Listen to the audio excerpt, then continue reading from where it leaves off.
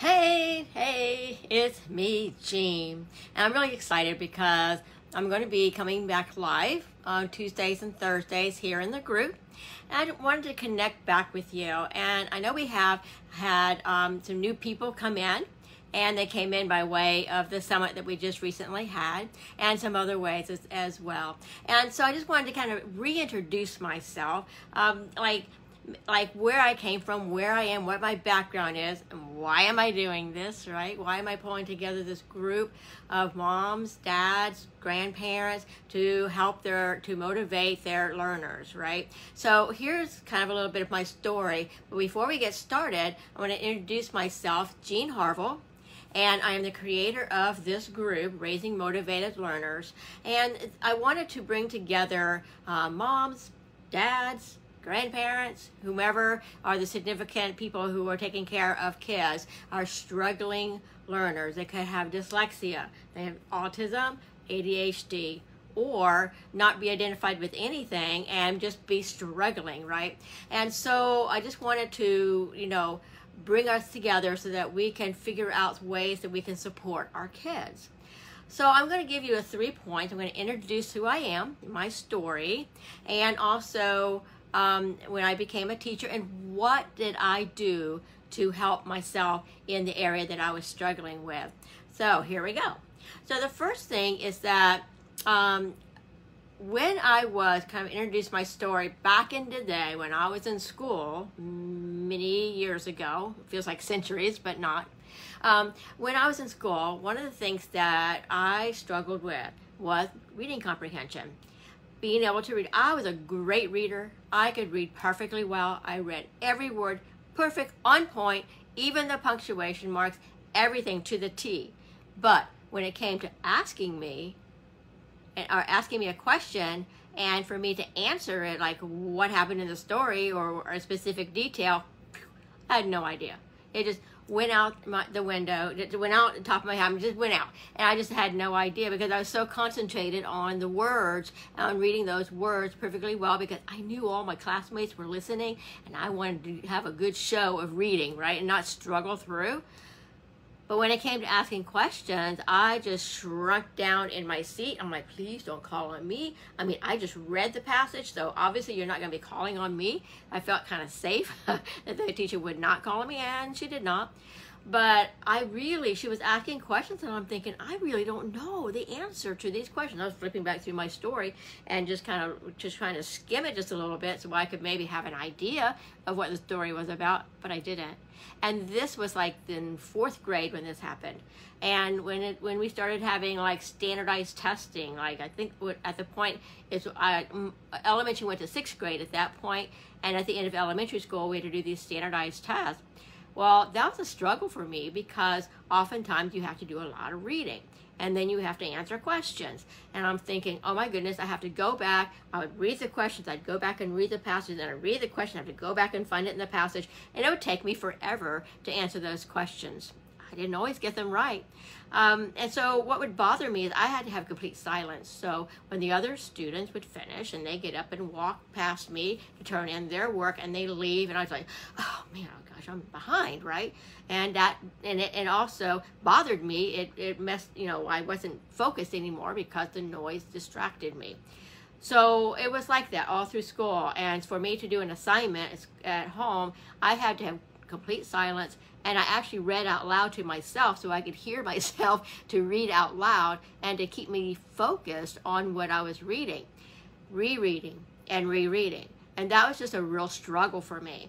And I don't think at that time that they had uh, different testing for different types of, of learners. I think it was mainly for those who were physically disabled or severely impaired or something like that. But it really, I'm not sure that dyslexia was really picked up or not.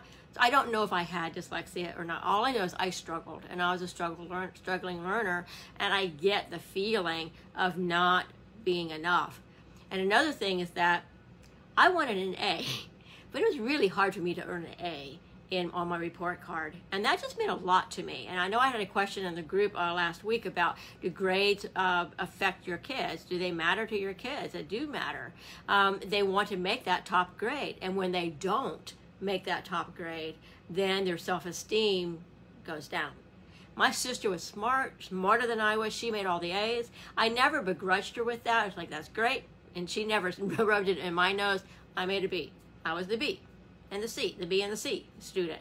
She was the A person in the in the in the family, which was fine, right? We got along just fine. But I still inside of me thought, what is wrong with me? Why am I not enough? Why can I make that A? Have you ever felt that way? Why? What is going on? And so when I think about that for myself and those feelings that I had, that I didn't feel like I was enough. I couldn't live up to what others were others were performing at, but then again I didn't know their struggles and I was only going against my own expectations for myself. Not and no one else was putting that expectation on me. My parents did not expect that from me. They never said, "Jean, you need to make an A." They never said that to me. And so, but it was something that I took inside internally. It's like, man, I can't make an A. I'm going to make a B. I'm to make a C, you know? And this continued all the way up through college. And so it was just like, okay, that's who I am. And, and I'm great in other areas as well. And, and so this is just the way it is. So when it came time to um, decide on a profession, I went into teaching, into education. First, I started college as an edu- as a music major. I loved piano, playing the piano. I thought I was good at it, but I really did not like it at all. When um, when I when I got into got into that major, I said I told my mom I said if you want me to continue to love music, I need to leave being a music major, and I went into education. And so um, I thought, well, okay, great. Why am I in education? I'm, you know, well, it was elementary education, and the first day of that sophomore year, the uh, administrator came in and asked if anybody was interested in a certification in learning disabilities. My hand went like this. And I said, well, I guess it was me. I think I'm interested because obviously what my brain was telling me was that I struggle. Maybe I need to figure out myself as well as help other kids because I understand and understood how other kids, uh, struggling le- uh, learners, would feel, right? Or feeling and how, how I could help them. So I said, okay, that's what I'm going to do. I'm going to go into special education with the elementary ed background and special education and putting all those together. I loved my special education courses because I could I could relate to what was going on in those in the um, material that we were studying. I'm like, I can relate to this. I get it. This is this is where we struggle. And so at that point, dyslexia was still being played around with the terminology. Of course, they did not use dyslexia in the schools, and they still don't now because they think of it as a medical term but it's the same thing. They call it learning disability, and I really would rather not be called disabled, but using the word dyslexia basically it's the same thing. It's just the medical terminology, and many schools will not use that term because it is a medical term. It is not an education term.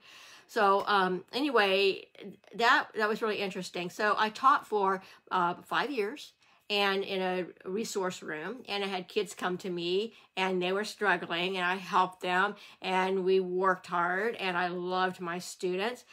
Then I took time off and I did a master's degree, came back to the school system, worked another five years in a couple of different other schools, and I decided that that's that this this I just needed to go find something else and I needed something else, something else that was um, more in depth as to what was going on in the brain, right? And so I left and I ended up uh, working for a neurologist who had a private clinic and she was amazing. This is back in the like 1990s, where early 1990s, where um, the brain work and the functional MRIs became available that we could study them.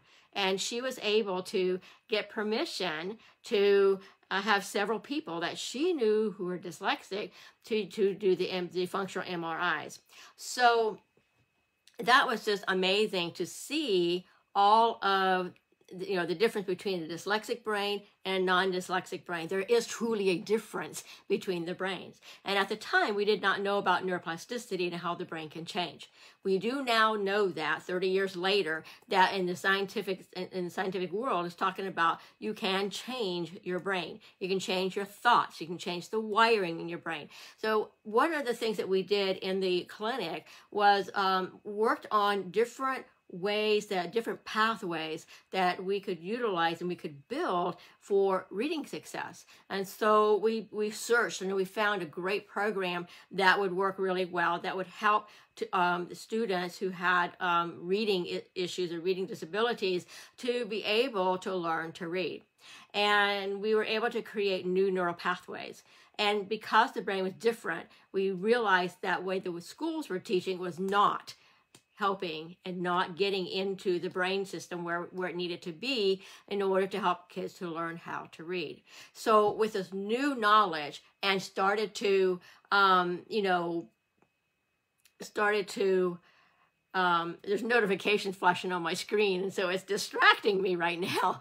okay. So anyway, um, this new new information on how we could create new neural pathways and we developed this reading program that would work and that would help these kids in doing so one of the things was uh, taking a look at what the strength is in the brain for people who have dyslexia. It's their visual field in their brain. They are big visual. They want they need to see the big visual picture visualization of what's going on in their reading. And that was one of the skills that we taught was visualizing what they read and putting this big picture together so that they could draw the answers from their big picture in order to understand what the story was about or what the with the um, geography lesson was about or the social studies lesson or whatever. But we, it, we, we went through it painstakingly, little bit by little bit by little bit, and trained how to visualize.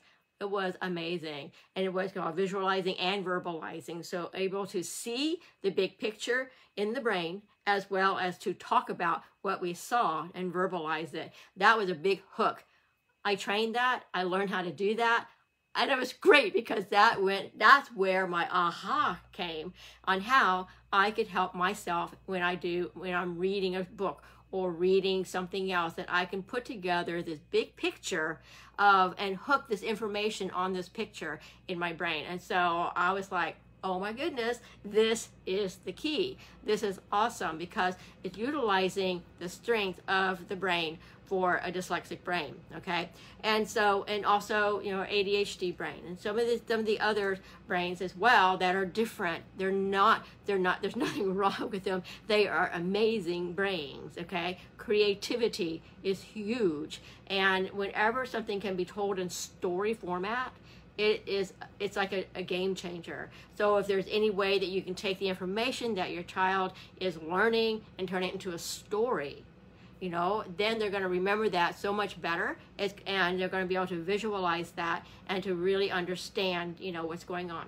You can, uh, we, with our technology that we have now, you can Google stories about different things, stories about the Eiffel Tower, stories about the, the Statue of Liberty, stories about, you know, whatever. And so it can be created into a story format which is very very useful for our kids who struggle with learning because they have a huge visual visual field that they can they can actually create like the whole gestalt of what is you know being taught or learned okay so that was an aha for me and that was one of the things that I wanted to bring forward, right? And I taught a few more years, and then I left, and and I uh, had my family, and now I'm back, and I want like would like to pass this information and to help um, our future people. So like one of the things we said is that, you know, what, I mean, one of my title, and this is going to be the title for the whole uh, series of lives I'm going to, be, going to be doing over the next few months, is what needs to shift for the next school year. I don't know about you, but summer is great because it's a release from the routine and we get to do something different from the school year. And with COVID now, just kind of, we understand it a lot better and how to keep ourselves safe, that we can still be out and go out and enjoy, right? But it's also a time of, of releasing that tension, but also looking forward. All right. So, you know, generally I'm great until about July 4th weekend, which is coming up. And as a teacher, July 4th weekend marked my halfway mark between my summer before I had to go back to work. And so right after July 4th, I would start pulling out my paper and my pen and I start doing my planning for the next school year.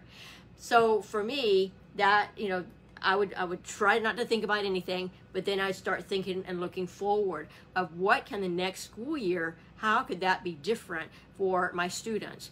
for you know for your kids so if you are wanting to make that change like something has got to change because my child is not motivated to want to learn or to pick up that book we're going to be talking about different things that can be going on with our kids in their thinking in our thinking you know as parents and how all that can actually make a difference one of the things that you know the first thing that comes out especially from teachers, how can I help my child? Or even as parents, because we run on old stories or old messages of when we were in school.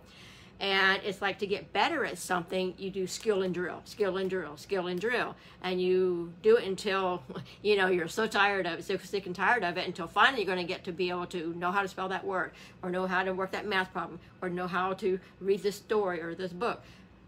But the thing is, when you stop and think about it, do you want to skill and drill on something that already gives you pain and agony in learning it? It's like, it's just like, you know, doing something more of like, like I had an example here. Um, doing something more and more and more, something that you really don't like doing, okay? For instance, like skating or like ice skating if you're not a really good ice skater and say, well, just get out and just skate some more and just skate some more and keep practicing, you keep falling down and, and no one is giving you any any uh, boundaries or railings that you can hold on to, it's going to be more difficult. Example also is, um, you know, read for 20 minutes every night. Um, and either, you know, with your child or your child reads themselves. Well, if the child is struggling with reading to begin with, 20 minutes a night with reading is agony because they've not given been given tools in order to figure out like how to read how what's the best way that they're going to read that they can read and uh, even you know there are there are some kids that can remediate and there are some things that, that can help them but they're slow and they're very it's very tedious and it's very hard and so some of the parents have come into the group said how can i motivate my kid to pick up a book to read well if the child is struggling in reading why would they want to do more of the same hard thing? Okay, so looking at things differently, making those shifts. What is something, another way that we can come at this that's going to be a lot more motivating and a lot more useful for your child? So, those are some of the things we're going to tackle. We're going to take a look at. And um, so, if you want to go deeper with that, to hop on a call with me, 15 minute call, you can do that. I'll put a link down below this uh, video and you can click that if you want to. So, you know, let me know. One of the things about Facebook algorithms is, and especially being inside the group, this live is not going to be shown a whole lot.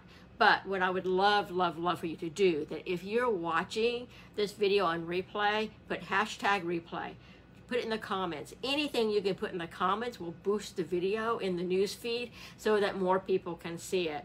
And it's that, so, you know, you can do likes, you can do, um, uh, was it likes and love and care or something like that.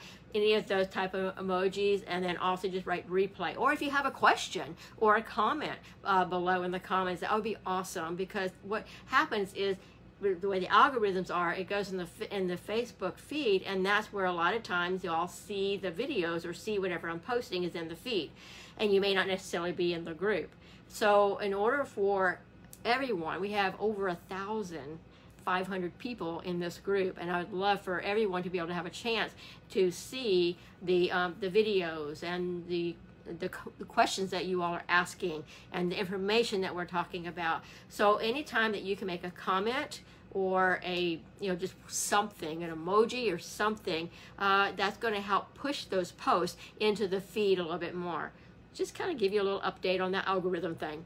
So if you could help that out, that would really be awesome. And if you do want to go deeper on a call, um, put, uh, I will click click the link that's below in the comments Okay, so I will see y'all on Thursday. Bye.